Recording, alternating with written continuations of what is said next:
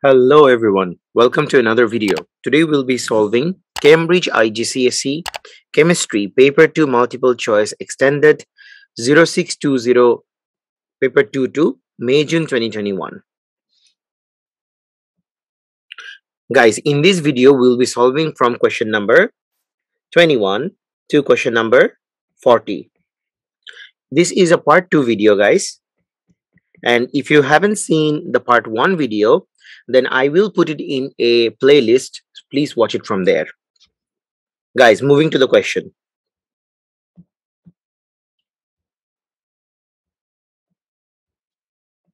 Question number 21. Burning fossil fuels releases sulfur dioxide which leads to acid rain. Which ion in the rainwater causes it to be acidic? Any solution becomes acidic due to the presence of H plus ion.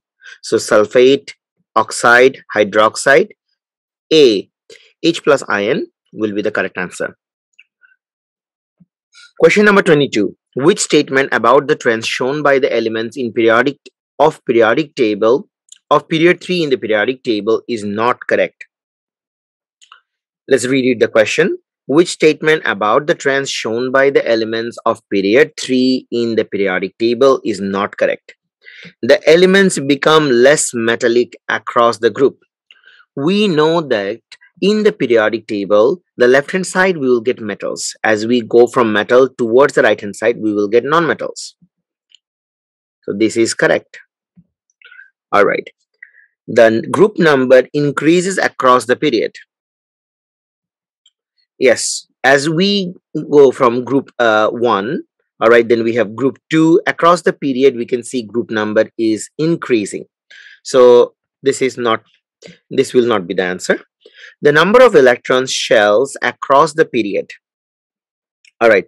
So we know across the period, let's say if we are in period 3, all right, if we are in period 3, every element will have 3 shells.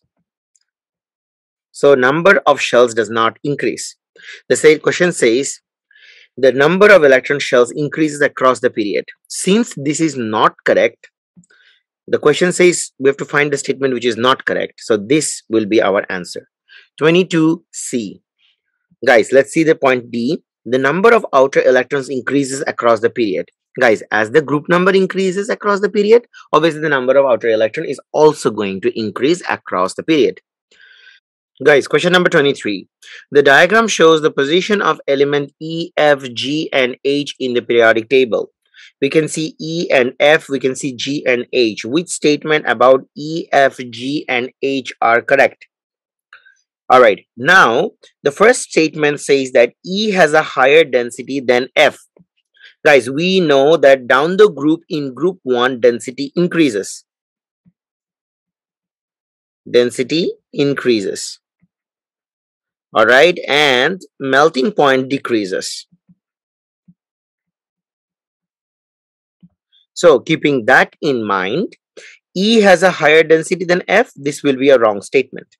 All right. E has a higher melting point than F, which is correct because we can see that a melting point decreases down the group. So E will have a higher melting point than F. So 2 is correct. If 1 is wrong, A and B options are cancelled out. Okay. Now G has a darker color than H we know that the color of group 7 the color of group 7 goes darker down the group.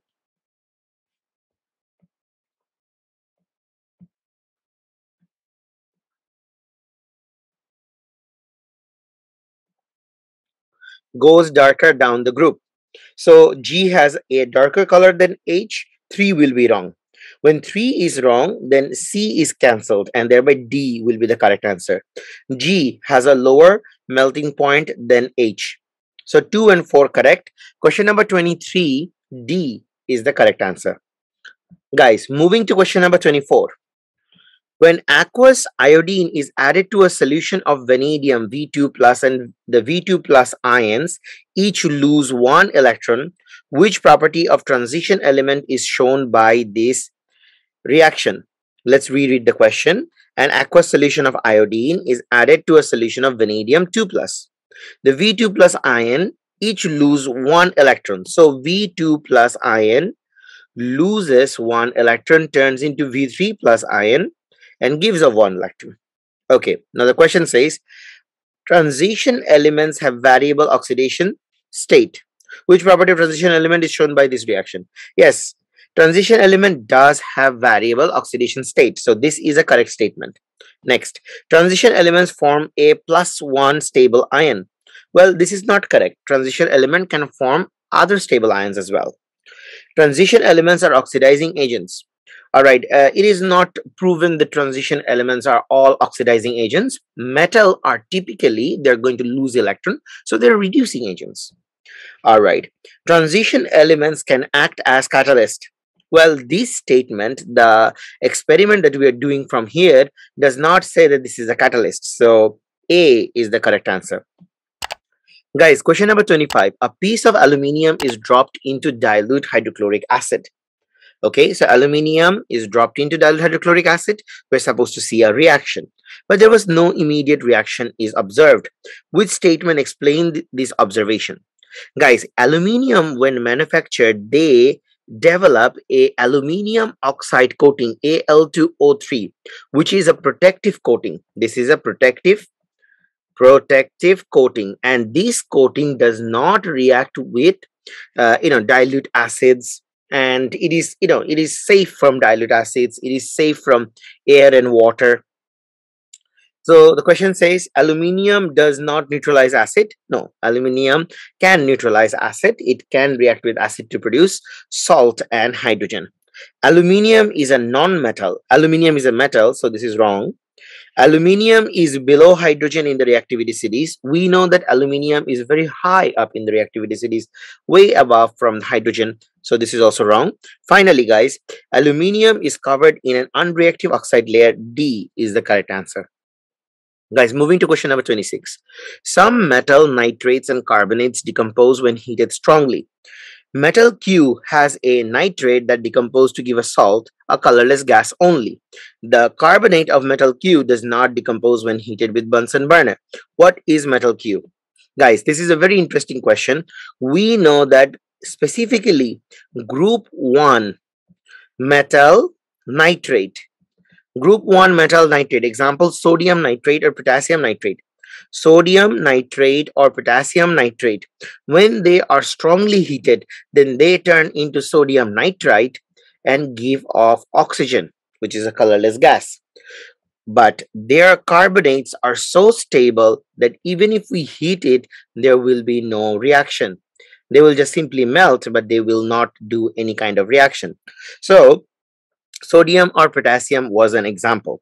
Now, calcium, definitely not. Copper, no. Zinc, not. C is the correct answer, guys. Question number 26, C. Question number 27. Aluminium is extracted from its ore by electrolysis.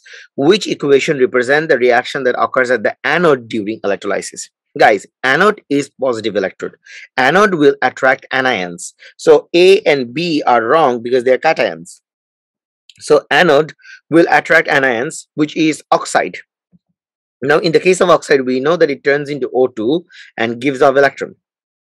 So to form oxide, uh, from oxide to O2, it must have two O2 minus, and then that will give a four electrons. So C is the correct answer. Guys, question number 27, C Question number 28. Mild steel consists of mostly iron. Mild steel can be prevented from rusting by a process called galvanizing. Copper is not a very strong metal. However, if it is mixed with a suitable metal, a strong alloy called brass is produced. So guys, for galvanizing, we use zinc. And when we want to produce brass, we must also add zinc with copper. The question says which statement is correct. Copper corrodes very quickly. Guys, Copper is a very unreactive metal. It is below hydrogen in the reactivity series, so it does not corrode quickly. Copper is mixed with zinc to produce brass. This is a correct statement. All right. Next, galvanizing mild steel changes it from uh, a pure metal into an alloy. No, galvanizing is just like painting. Uh, it's like a coating, so it doesn't convert it into an alloy. When a steel object is galvanized, this means it is coated with a thin layer of tin. While galvanizing means coating with a thin layer of zinc. So B is the correct statement. Question number 28, B. Copper is mixed with zinc to produce brass. Question number 29.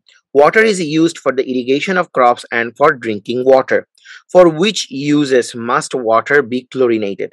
So for irrigation, it, the water does not need to be uh, in a super pure. It can have bacteria in it and that's going to be fine. So for irrigation, we do not need to chlorinate it. All right. So these things are going to be wrong. But for drinking, definitely chlorination is important. So question number 29, C is the correct answer, guys. Guys, moving to question number 30. Which natural resource cannot provide a raw material for the manufacture of ammonia? Okay. Guys, for the manufacture of ammonia, all right, we know that for producing ammonia, we require nitrogen and we require hydrogen. Now, we get nitrogen from air.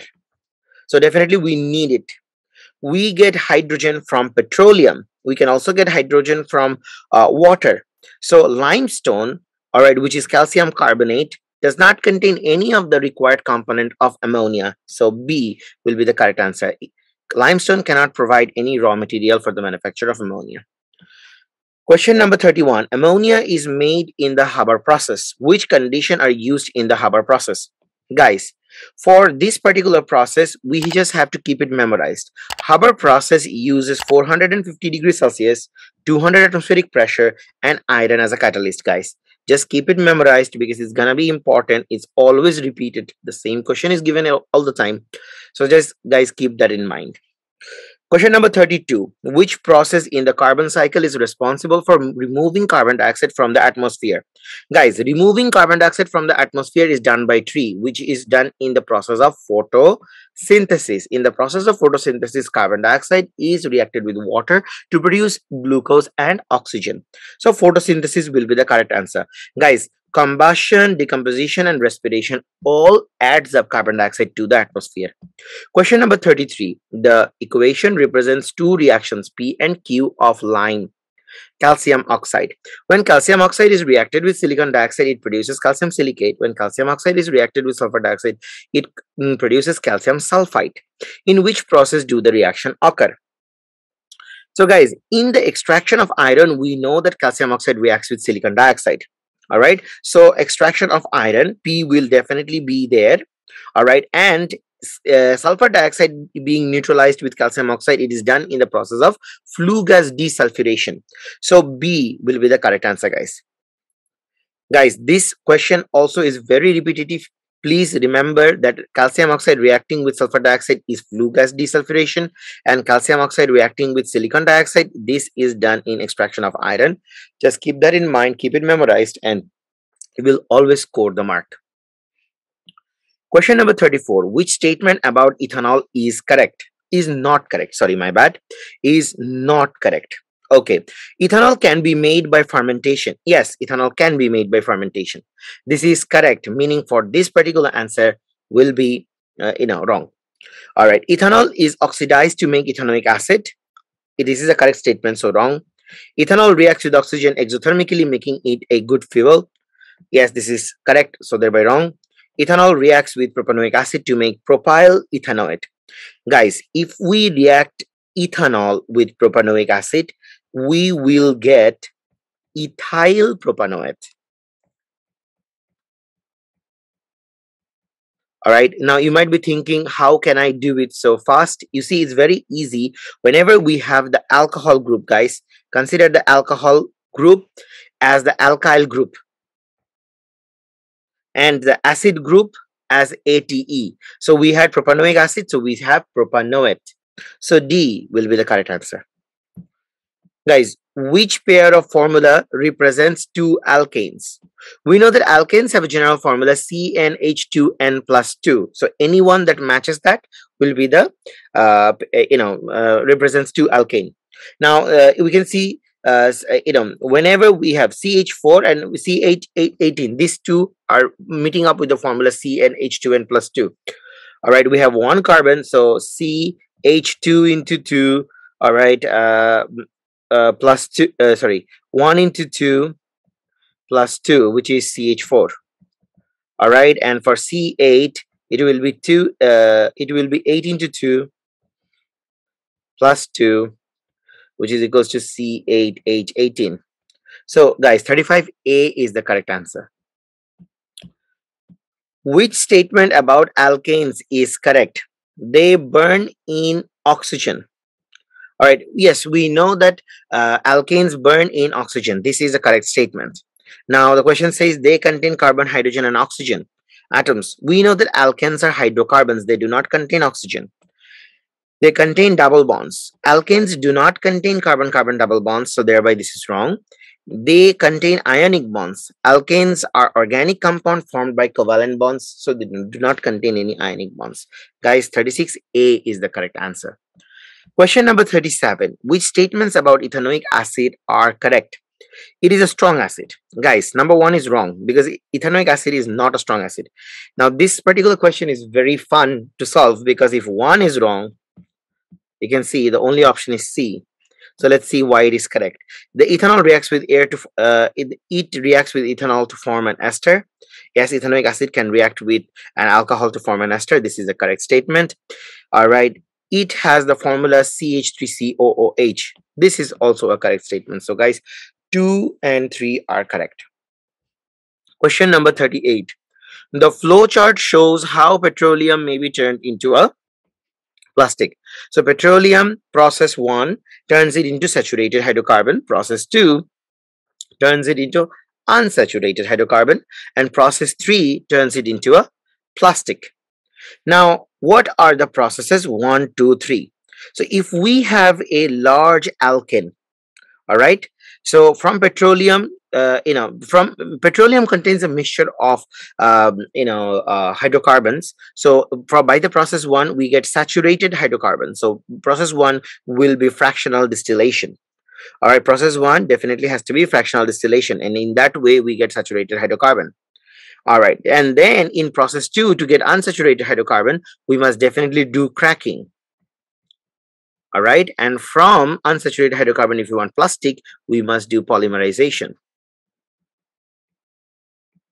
So guys, for question number uh, 38, process 2 will be cracking and process 3 will be polymerization. Guys, C will be the correct answer. Question number 39. The structure of a synthetic polymer is shown. We can see CO and NH. CO, NH. All right.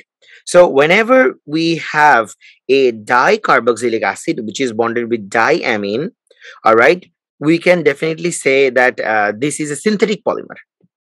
All right. Okay. Definitely it's a synthetic polymer also mentioned in the question.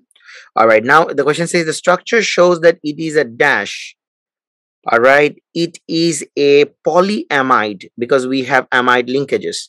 Guys because we have amide linkages so it is a polyamide. It is not a polyester. And it is formed by definitely it is formed by a condensation reaction. All right? Because when the CONH bond formed it released a water molecule. So for question number 39 B will be the correct answer guys the last question which substance is a natural polymer? Guys ethene is not even a polymer. Terylene is a synthetic polyester. This is a polyester and it is synthetic. Nylon is a polyamide and this is also synthetic. Only protein is a natural polymer. Guys thank you for watching the video. If you like videos like this then subscribe to the channel and keep watching the video until the end all right. Wish you best of luck with your exam. Bye bye.